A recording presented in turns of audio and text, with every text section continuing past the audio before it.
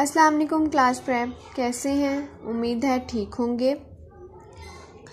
बच्चों, हमने आगे बढ़ना है और बढ़ते जाना है। ठीक है? हमारा मजबून है इस्लामियात। सबक प्यारे नबी सल्लल्लाहु अलैहि वसल्लम।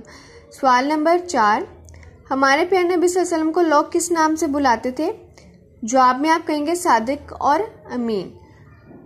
प्रेप क्लास हजम मोहम्मद अलैहि वसल्लम सच्चे और ईमानदार थे। सादिक होता है सच्चा और अमीन का मतलब होता है ईमानदार, ठीक है?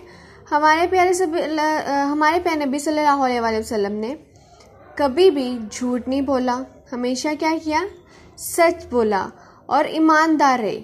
अगर उनके पास कोई चीज़ रख के जाता तो आप उसको बहुत संभाल के रखते, क्योंकि वो उनकी चीज़ नहीं थी, वो किसी दूसरे की चीज़ थी। वो क्या थे? अमानतदार थे, ठीक है? हमारे प्यार नबी लोगों को किस नाम से बुलाते थे? सादिक और अमीन के नाम से।